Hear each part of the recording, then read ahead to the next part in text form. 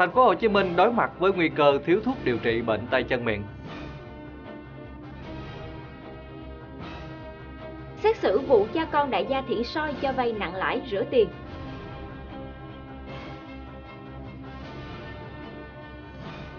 Đi đòi tiền bị con nợ sát hại.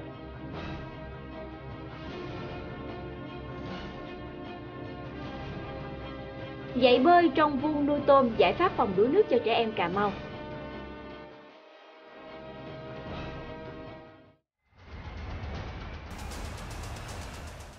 Kính chào quý vị khán giả đang theo dõi bản tin nóng 24 giờ được phát sóng trên đài phát thanh và truyền hình Long An.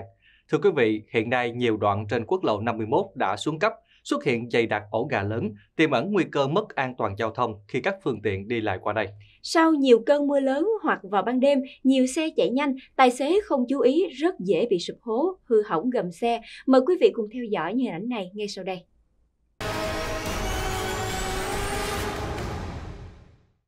Kính thưa quý vị khán giả, dự án BOT quốc lộ 51 dài hơn 72 km đi qua địa bàn Đồng Nai và Bà Rịa Vũng Tàu do công ty cổ phần phát triển đường cao tốc Biên Hòa Vũng Tàu BVEC làm chủ đầu tư. Đây là tuyến đường huyết mạch kết nối Bà Rịa Vũng Tàu với các tỉnh Bình Dương, Đồng Nai và thành phố Hồ Chí Minh. Sau khi tạm dừng thu phí, chủ đầu tư tuyến quốc lộ 51 cũng đã ngừng duy tu bảo dưỡng, khiến cho tuyến quốc lộ huyết mạch này xuống cấp trầm trọng, ổ gà chi chích tiềm ẩn nguy cơ cho người đi đường, nhất là trong mùa mưa hiện nay. Sau nhiều cơn mưa lớn, quốc lộ 51 qua địa bàn thành phố Biên Hòa và huyện Long Thành tỉnh Đồng Nai xuất hiện nhiều ổ gà lớn. Các phương tiện di chuyển qua lại rất khó khăn, tiềm ẩn nguy cơ mất an toàn giao thông. Theo ghi nhận, đoạn quốc lộ 51 qua phường Long Bình Tân, thành phố Biên Hòa, làn đường từ hướng huyện Long Thành đi thành phố Biên Hòa, mặt đường xuất hiện nhiều đoạn gồ ghề, lồi lõm. Đặc biệt, khu vực ngã ba cổng 11 xuất hiện nhiều ổ gà lớn. Khu quản lý đường bộ 4, đơn vị phụ trách tuyến quốc lộ 51 cho biết, đơn vị vừa có văn bản kiến nghị Cục Đường bộ Việt Nam sửa chữa đột xuất tuyến quốc lộ 51 sau khi tạm dừng thu phí do lượng xe cộ quá đông, trời mưa nhiều, gây hư hỏng nhiều đoạn mặt đường.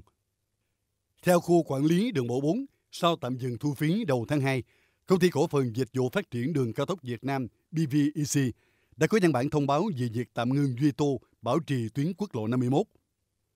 Trong thời gian chờ bàn giao tuyến để sửa chữa, đảm bảo an toàn giao thông, đơn vị kiến nghị Cục Đường bộ tiếp tục báo cáo Bộ Giao thông Vận tải bố trí kinh phí để chi trả cho nhà thầu thực hiện công tác quản lý bảo trì quốc lộ 51. Hiện trên quốc lộ 51, nhiều đoạn vị trí mặt đường hư hỏng, các vệt sơn bị mòn mờ. Khu quản lý đường bộ 4 đã đề xuất sửa chữa đột xuất hư hỏng mặt đường với khối lượng 16.853 m2. Giải pháp sửa chữa là cào bốc bê tông nhựa cổ, thảm mặt đường các vị trí hư hỏng, đồng thời sơn khôi phục vệt sơn tín hiệu đường bộ bằng sơn dẻo nhiệt. Còn tại tỉnh Bến Tre, sau khi người dân sinh sống gần bãi rác An Hiệp, huyện Ba Tri, ngăn cản không cho xe rác vào trong bãi vì quá bức xúc với việc bãi rác này bị ô nhiễm trầm trọng, không được cơ quan chức năng xử lý triệt để như những gì Nóng 24 giờ đã thông tin đến quý bà con trong số phát sóng trước, thì mới đây nhất, Ủy ban Nhân dân tỉnh Bến Tre đã công bố tình huống khẩn cấp về sự cố môi trường tại bãi rác An Hiệp. Cụ thể ra sao? Mời quý vị cùng theo dõi. Bãi rác An Hiệp, huyện Ba Tri tiếp nhận khoảng 200 tấn rác mỗi ngày từ thành phố Bến Tre, huyện Châu Thành và huyện Ba Tri. Trong khi các hạng mục như tường rào, phủ bạc, chống thấm, gom nước rỉ rác thực hiện chưa kịp thời. Ngoài ra, thời gian gần đây, mưa lớn kéo dài liên tục, dẫn đến tình trạng nước rỉ rác lẫn với nước mưa chảy tràn xung quanh. Mùi hôi phát tán ảnh hưởng trực tiếp đến khoảng 132 hộ dân nằm trong phạm vi bán kính 1.000m thuộc địa phận hai xã An Hiệp, An Đức. Do bức xúc, một số người dân chặn xe chở rác, hơn một tuần qua, xe rác ùn ứ trong phạm vi lớn gây tác động đến nhân dân và an toàn xã hội. Trước tình hình diễn biến môi trường và xã hội nêu trên, Ủy ban dân tỉnh Bến Tre công bố tình huống khẩn cấp sự cố môi trường bãi rác An Hiệp, giao Sở Tài nguyên và Môi trường chủ trì thực hiện khắc phục sự cố môi trường, tăng cường phun xịt và vệ sinh môi trường xung quanh bãi rác, triển khai nhanh các hạng mục công trình nâng cấp cải tạo bãi rác, tuyên truyền vận động nhân dân khu vực lân cận bãi rác An Hiệp cùng chia sẻ khó khăn của tỉnh. Tiếp theo là tin tức về tình hình dịch bệnh tay chân miệng trên địa bàn thành phố Hồ Chí Minh. Theo đó, cùng với số ca mắc đang có xu hướng tăng nhanh dẫn đến số ca nặng cũng đang gia tăng thì hiện nay các bệnh viện ở địa phương này còn phải đối mặt với nguy cơ thiếu thuốc điều trị. Hiện các bệnh viện ở thành phố Hồ Chí Minh phải tiếp nhận và điều trị nhiều ca bệnh từ các tỉnh thành khác đến. Trong đó có những ca chuyển nặng rất nhanh và nguy kịch. Thông thường một cái dịch bệnh á, mà nó tăng hay giảm á, thì trong đó có cái yếu tố phòng ngừa. Nếu mà mình phòng ngừa tốt thì nó sẽ giảm xuống. Theo tôi thì nếu mà mình à, làm tốt á, thì có thể tháng 8 nó hết. Nhưng mà nếu mình không làm mà đúng mức á, và nó có thể kéo dài tới tháng 10. Về cung ứng thuốc điều trị bệnh tay chân miệng, Sở Y tế thành phố cho biết, tuy đã chuẩn bị, nhưng thuốc của thành phố dự kiến không đủ đáp ứng trước tình hình dịch bệnh diễn biến nhanh và luôn phải tiếp nhận những ca bệnh nặng từ các tỉnh chuyển đến như hiện nay. Cái câu chuyện mà dịch trùng dịch á, thì à, nó đang xảy ra và có thể nó xảy ra một cách trầm trọng hơn trong cái thời gian tới là bởi vì mới đang bồng mùa mưa thôi. Và khi mưa nhiều chắc chắn là sốt xuất nó lên và tay chân miệng mình không tránh được rồi nó đang lên tới cái, cái, cái nó đang vọt lên rồi. Cái điều lo nhất là cái cái cái thuốc nó về không kịp về không kịp. Thì theo tôi biết thì thì ngành y tế cũng cố gắng ngành dược cố gắng tìm cách để mà huy động thuốc trở lại cái khó là thuốc á thì nó phải quả thứ hai là cái giá thành nó phải rẻ nữa tại vì mình có nhiều loại thuốc thành ra hy vọng là có được thuốc và cái giá thành nó rẻ thì thì mình mới đỡ hao tốn theo báo cáo mới nhất của Sở Y tế thành phố Hồ Chí Minh, từ đầu năm đến ngày 14 tháng 7, thành phố ghi nhận có 7.823 ca mắc mới, trong đó có 2.370 ca phải nhập viện điều trị và 212 ca nặng, chiếm tỷ lệ 8,95%. Ngành y tế dự báo số ca mắc và số ca nặng sẽ tiếp tục gia tăng trong những tuần sắp tới. Tỷ lệ nhập viện và ca nặng chuyển đến thành phố chiếm khoảng 80%. Đến hiện tại, có 6 trẻ tử vong tại các bệnh viện ở thành phố đều có hộ khẩu từ các tỉnh thành khác. Tiếp tục chương trình vẫn là thông tin liên quan đến lĩnh vực y tế. Theo đó, có một người đàn ông sử dụng súng tự chế không may bị cướp cò, đạn bắn xuyên ở bụng. Rất may mắn bệnh nhân này đã được các bác sĩ Bệnh viện Đa khoa khu vực Định Quán, tỉnh Đồng Nai cứu chữa kịp thời. Nam bệnh nhân 39 tuổi, ngụ huyện Tân Phú, tỉnh Đồng Nai, nhập viện cấp cứu với vết thương nặng ở bụng. Sau khi cấp cứu hội chuẩn, các bác sĩ chuẩn đoán bệnh nhân bị thương do vết đạn xuyên ổ bụng làm thủng bốn đoạn ruột non xuyên qua xương chậu ra sâu mông. Các bác sĩ đã mổ cấp cứu, khâu vết thương, hồi sức sau cấp cứu cho bệnh nhân. Sau ca mổ, bệnh nhân tỉnh táo, tiếp xúc tốt. Bệnh nhân đang tiếp tục được theo dõi và sẽ phẫu thuật lấy viên đạn ra trong thời gian tới. Được biết, vào khoảng 21 giờ 30 tối ngày 23 tháng 7, người đàn ông có sử dụng súng tự chế, loại súng nén hơi bắn đạn bi để đi săn. Thế nhưng súng bất ngờ cướp cò bắn vào bụng, khiến ông bị thương nặng. Thưa quý vị, mới đây một đoạn video clip ghi lại cảnh xô xát giữa lực lượng kiểm tra trật tự đô thị ở tỉnh Cà Mau với một số tiểu thương được đăng tải lên mạng xã hội đã tạo ra dư luận trái chiều. Hiện Ủy ban Nhân dân phường 2 thành phố Cà Mau, tỉnh Cà Mau đã làm báo cáo về vụ việc này. Sáng ngày 25 tháng 7, một tài khoản Facebook đã đăng tải đoạn clip dài hơn 4 phút, được cho là quay lại cảnh xô xát giữa tiểu thương với lực lượng trật tự đô thị phường 2, thành phố Cà Mau, tỉnh Cà Mau. Theo đoạn clip, một số tiểu thương đã có những lời lẽ khiếm nhã và hành động tay chân với lực lượng thực thi công vụ. Sau đó, hai bên đã xảy ra xô xát. Được biết, tại khu vực xảy ra vụ việc, ngành chức năng đã cấm người dân buôn bán.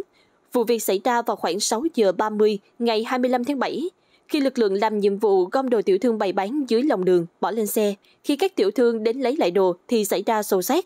Vụ việc đã gây hiếu kỳ cho nhiều người và tạo ra dư luận trái chiều. Hiện trên mạng xã hội cũng đang lan truyền đoạn clip ghi lại cảnh chiếc ô tô màu đen hiệu VinFast do một người đàn ông điều khiển liên tục tông mạnh vào chiếc ô tô màu đỏ hiệu Bozo, khiến cho cả hai chiếc xe này đều hư hỏng nặng. Đoạn clip đã khiến cho dư luận bức xúc trước hành vi cố tình phá hoại tài sản của người lái xe ô tô màu đen. Nguyên nhân ban đầu của vụ việc này là do mâu thuẫn trong gia đình. Vụ việc không hề gây thương tích về người nhưng gây thiệt hại nặng về tài sản thưa quý vị. Vụ việc xảy ra vào khoảng 17 giờ chiều 25 tháng 7 trên đường Kim Đồng, phường Tân An, thành phố Buôn Ma Thuột. Theo diễn biến, sau khi cố tình lái xe tông ba phát mạnh vào xe màu đỏ, người đàn ông lấy xe ô tô đen rời đi. Ngay sau đó, người này tiếp tục lấy xe quay lại và lấy đà tông thêm một phát thật mạnh vào ô tô đỏ rồi bước xuống xe dưới vẻ mặt hậm hực. Tại hiện trường, chiếc Peugeot bị tông nên đập mạnh vào một thân cây, hư hỏng nặng ở phần đầu xe. Chiếc VinFast cũng bị hư hỏng nhiều bộ phận. Được biết, sau khi nhận được tin báo, lực lượng công an đã đến khám nghiệm hiện trường, xác minh vụ việc để xử lý.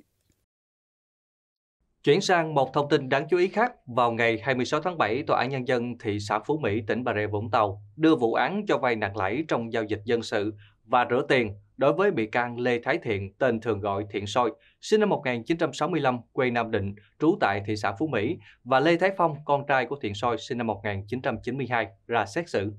Phiên tòa dự kiến kéo dài từ ngày 26 tháng 7 đến ngày 8 tháng 8. Hội đồng xét xử triệu tập 44 người có quyền lợi nghĩa vụ liên quan, trong đó có nhiều người là đại diện theo ủy quyền của các ngân hàng, tổ chức tín dụng. Đây là phiên tòa được dư luận đặc biệt quan tâm vì cha con Thiện Soi nổi tiếng về độ giàu có với căn biệt thự giác vàng. Theo cáo trạng vụ án, từ năm 2018 đến cuối năm 2020, cha con Thiện Soi đã cho 9 cá nhân dây tổng số tiền hơn 324 tỷ đồng với mức lãi suất dây từ 109% một năm đến 146% một năm. Hai cha con này đã thu về gần 123 tỷ tiền lãi, trong đó gần 99 tỷ đồng có được do cho dây lãi nặng trong giao dịch dân sự. Sau đó, hai người rửa tiền bằng cách dùng 60 tỷ đồng mà những người dây không trả được để nhận chuyển nhượng đất, vật liệu xây dựng của họ, giống như cấn trừ nợ. Thủ đoạn của hai cha con là cho dây tiền lấy lãi suất cao theo ngày, với mức từ 3.000 đồng trên 1 triệu đồng một ngày đến 4.500 đồng trên 1 triệu đồng một ngày. Trong thời hạn 10 ngày, người vay phải trả cả gốc và lãi.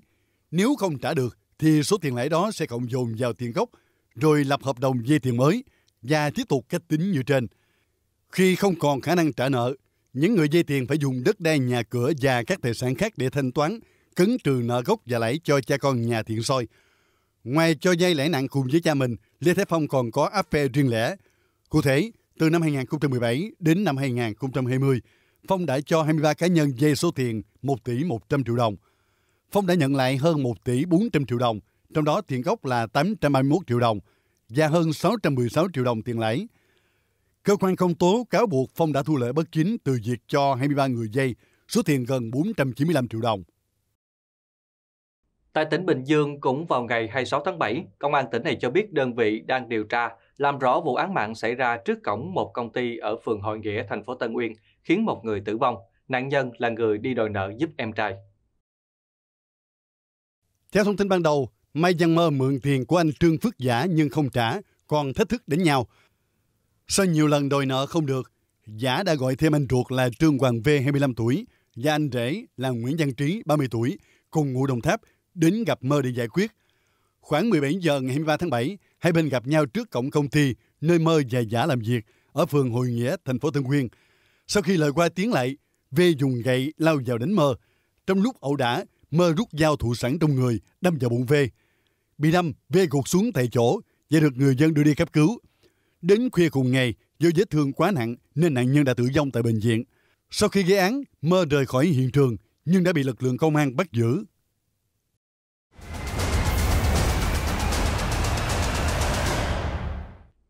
Mời quý vị cùng theo dõi những camera nóng mà ban biên tập đã cập nhật được. Thưa quý vị, hiện nay cư dân mạng đang vô cùng bức xúc sau khi xem một đoạn video clip ghi lại tình huống giao thông nguy hiểm.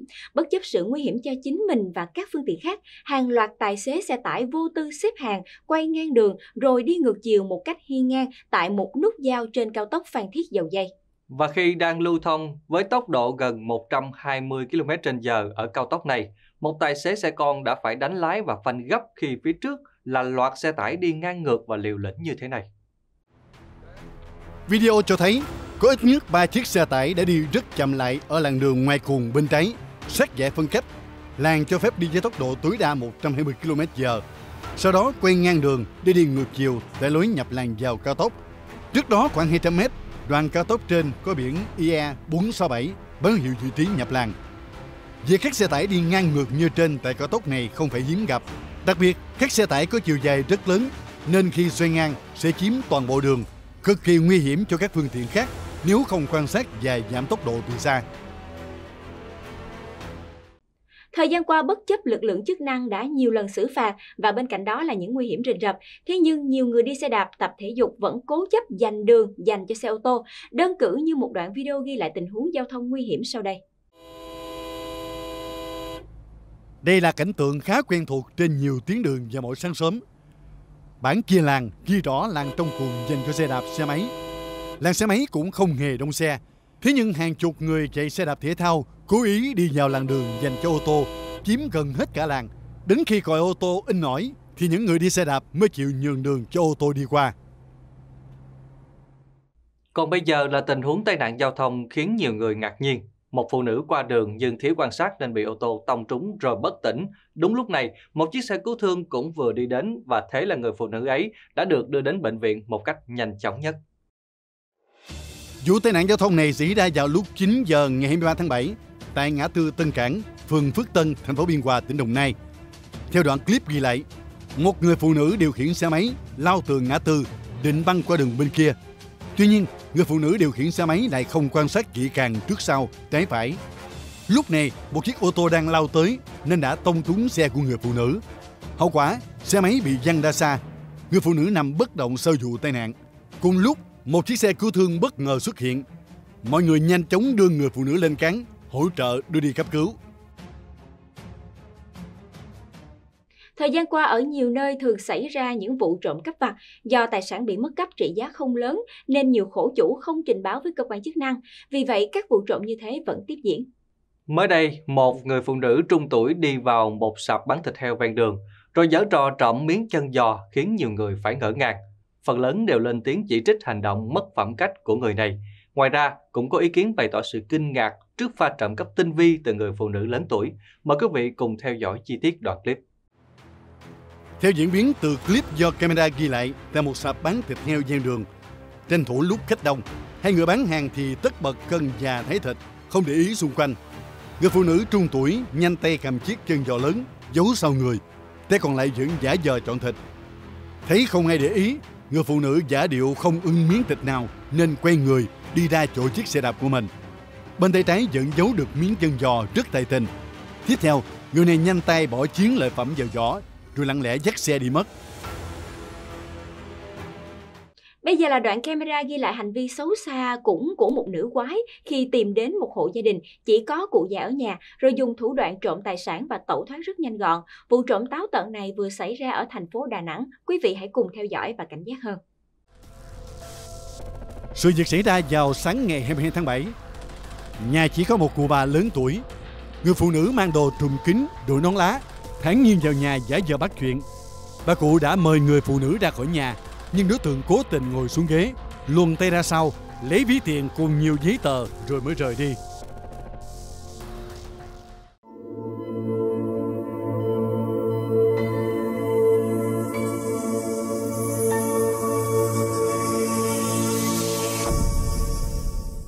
Quý vị khán giả thân mến, thời gian qua tại một số tỉnh thành ở nước ta liên tục xảy ra những vụ đuối nước thương tâm. Những nạn nhân đuối nước tử vong đa phần đều là trẻ nhỏ, học sinh. Tại tỉnh Cà Mau cũng không ngoại lệ và để tránh tình trạng đuối nước ở trẻ em, các vuông nuôi tôm ở địa phương này đã tận dụng như là hồ bơi để dạy cho các em nhỏ. Ngoài việc dạy bơi, các anh chị đoàn viên thanh niên của tỉnh đoàn Cà Mau còn phối hợp với nhiều đơn vị và các cơ sở đoàn tặng bánh kẹo, tổ chức sân chơi và tặng phao cứu sinh cho các em có hoàn cảnh khó khăn. Vì thế các em nhỏ rất hào hứng tham gia. Những hình ảnh đẹp và ấm áp này được ghi nhận bởi nhóm phóng viên nóng 24 giờ. Những tháng mùa hè năm nay, các cơ sở đoàn ở Cà Mau đã tổ chức 32 lớp dạy bơi miễn phí cho gần 1.000 em thiếu nhi tham gia. Cà Mau là vùng sông nước, một số nơi việc đi lại còn gặp nhiều khó khăn, một số nơi trẻ em còn đi học bằng đường thủy. Địa bàn xã Nguyễn Quân là một địa bàn à, nằm rất xa trung tâm thị trấn. Thì ở đây là điều kiện là không có các hồ bơi để cho trẻ tập bơi. Vì thế là ở xã đoàn cũng tạo điều kiện tổ chức cho các trẻ em học bơi ở những cái vuông tôm. Thì trước khi à, dạy bơi cho trẻ là xã đoàn đã có khảo sát trước địa hình và khảo sát trước cái độ sâu của vuông thì để đảm bảo sao mà ở dưới vuông tôm không có các chứng ngại vật như cây cối hoặc là miễn hào. Điều kiện cơ sở vật chất dạy bơi ở một số nơi còn thiếu. Tuy nhiên, tỉnh đoàn Cà Mau quyết tâm để các em thiếu nhi tham gia học bơi đều biết bơi trong mùa hè này. Những địa phương các em không có điều kiện tiếp cận được với hồ bơi nhân tạo thì dạy bơi cho các em ở sông rạch, vuông tôm đảm bảo an toàn. Lo lo em bởi vì ít cho đi đâu lắm. Ở nhà không mà đi ra rồi sợ nó chết hụt nào này kia đâu dám chứ. Ừ. à, bị vì nhà đơn chiếc quá không có người. Mấy anh nó đi mặn chơi người cha đi biển nữa rồi tôi cứ không biết lội nữa tôi đâu dám tập. Dạ. bình thường con ít đi bơi nhưng mà bữa nay được mấy chú uh, dẫn đi bơi thì uh, con rất vui. Rồi uh, được cảm uh, được gọi là hứng thú. Vui thích nhưng mà lên bờ hơi lạnh Bên cạnh việc tổ chức dạy bơi cho các em, tỉnh đoàn Cà Mau còn phối hợp với nhiều đơn vị và các cơ sở đoàn để tổ chức nhiều sân chơi hè, tặng nhiều áo phao cho các em với kinh phí 300 triệu đồng. Ngoài ra, chương trình Vì đàn em thương yêu còn tổ chức hướng dẫn cho nhiều phụ huynh và thiếu nhi có kiến thức, kỹ năng về phòng chống tai nạn đuối nước để giảm thiểu những tai nạn đuối nước thương tâm xảy ra. Những hình ảnh vừa rồi cũng đã kết thúc bản tin nóng 24 giờ ngày hôm nay. Cảm ơn quý vị đã chọn theo dõi bản tin nóng 24 giờ trên sóng Đài Phát thanh và Truyền hình Long An mỗi ngày. Đừng quên chương trình này sẽ quay trở lại vào ngày mai để chia sẻ đến quý vị những thông tin nóng nhất, mới nhất. Còn bây giờ Bích Hồng và Khôi Nguyên xin kính chào tạm biệt và hẹn gặp lại.